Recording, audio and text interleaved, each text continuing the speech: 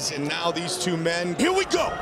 Quick center of the octagon. And right into battle, Brimage in the white. This is a needs to do. Step off. Size strike.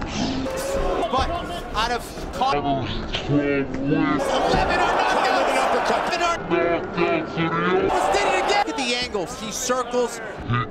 Forwards. He can fight going back. Look at that uppercut. Marcus the top, looking to finish it here.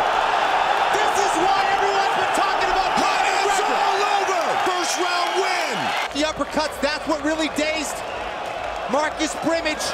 And from there, it was all Conor McGregor. Early was the one that did damage in uppercuts end of the night.